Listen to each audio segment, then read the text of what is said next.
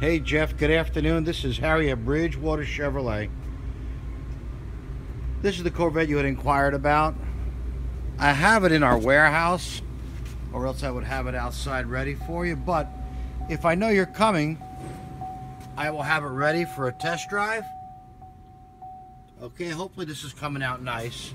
Usually I have it outside parked where there's a little bit more room, but as you can tell, this is where we keep most of the Corvettes and the Camaros.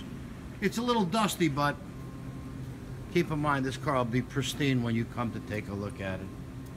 Okay, my number again is 732 667 8732, and my name is Harry DiPietro. This is Bridgewater Chevrolet. Please reply when you have an opportunity, and we'll set a time up for us to come down and take a closer look and a test drive. Okay? Thank you again.